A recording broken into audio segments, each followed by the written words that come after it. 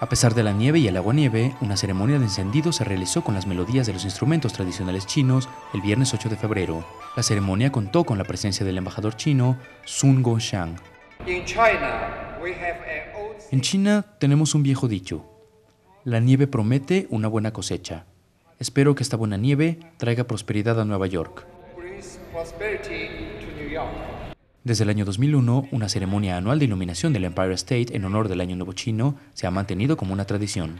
El embajador habló acerca de la importancia de este evento anual en la ceremonia de iluminación.